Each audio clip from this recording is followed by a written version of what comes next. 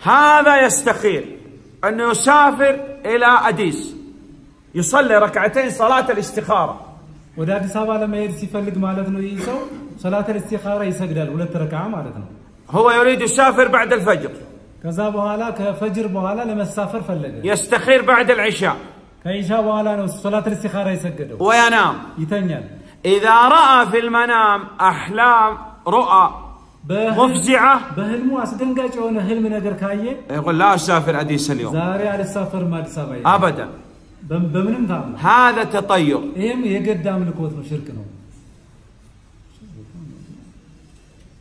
بعض الناس يتطير بالقرآن አንዳንድ ሰዎች በቁርአን ተጦይሩ የሚያደርጓሉ የገድ አምልኮት የሚያመልኳሉ هو الآن يريد يتزوج ለምሳሌ ለማግባት ይፈልጋል ሰውየው فيفتح القرآن ወዲያውኑ ቁርአኑን ክፍት ያደርገዋል إذا وقع النظر على آية فيها رحمة ለምሳሌ የሆነ አንቀጽ የአላህ እዝነት የሚባል ነገር ያለበት ትርጉም ካየ ወዲያውኑ قال تمام أتزوج ማሻ አላህ እገባለሁ ይላል آية فيها عذاب فيها النار ስለ ቅጣት ደግሞ የሆነ አንቀጽ ነገር ያንን ባይኑ ወዲያውኑ ካየው قال لا ዛሬ والله ما አላገባም- تزوج አላገባም ብሎ ኪታቡን هذا تطير بالقرآن ይሄ በቁርአን ተጦይሩ ይባላል موجود አለ ወይስ የለም? موجود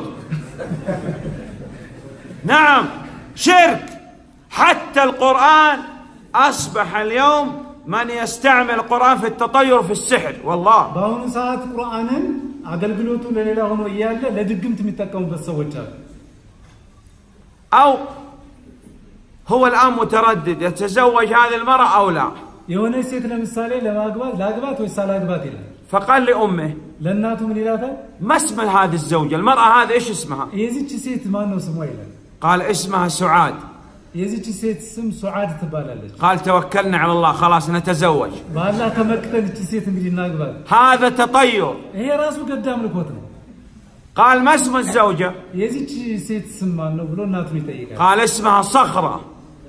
صخرة صخرة.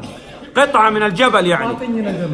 ترى قال أعوذ بالله. أعوذ بالله لا ما تزوجها آه، هذا تطير إيه مراسو يقدم لك وطنه شركنا إيش علاقة الاسم الزوجة تتزوج ولا تتزوج؟ تطير هذا. إيه ميستو سمنا كقابل توقن ممكن ينتهلو شركنا وهي براسو في الجوال في التليفون بعض الناس يقول عن الزوجة أنها وزارة الداخلية.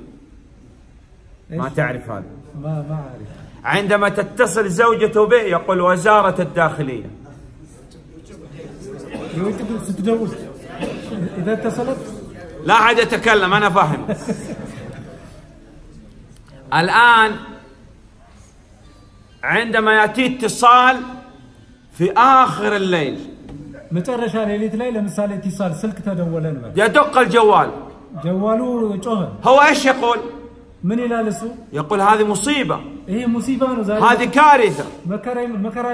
ما اتصل أبي أو أخي علي في هذه الساعة إلا المصيبة جاءت. أباتي ويموندمي بزيل اللي تدولا يوم المصيبة صح. صح. تطير. إيه تطير. موجود؟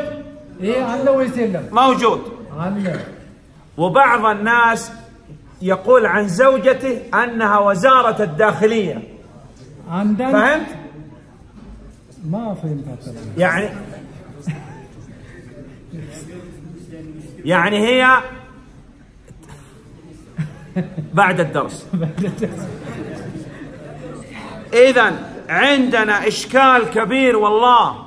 تبالي وأنا تقرا هذا أعظم من شرب الخمر. إيه خمر كما دتات وطعم يكبر ونجنون ما علاقة هذا الأعرج الذي تراه في طريقك؟ أو القدر أو النار. أو الحيوانات أو الأصوات ما علاقتها بك ከአንተ ጋር ምን ግንኙነት አለው? ጠዋት በምትወጣበት ጊዜ የሆነ ሽባ ሰው ተመለከት ወይም ባዶ ዕቃ አየህ ወይም ጥቁር ሰው አየህ፣ ምን ግንኙነት አለው ከአንተ ጋር? ከአንተ ስራ ጋር ምን ግንኙነት አለው?